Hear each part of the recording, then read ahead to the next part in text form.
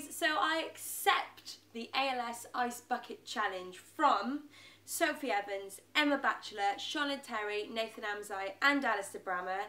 Thank you so much for the five nominations. That doesn't mean I have to do it five times though. I'm pretty sure I've got the rules right there.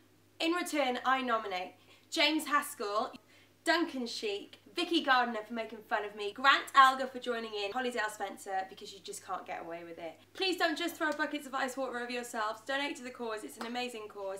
I am doing this specifically for beautiful angel Naomi Franklin. Here we go. Okay, so I'm out here in the rain with my Pimm's bucket, ice water.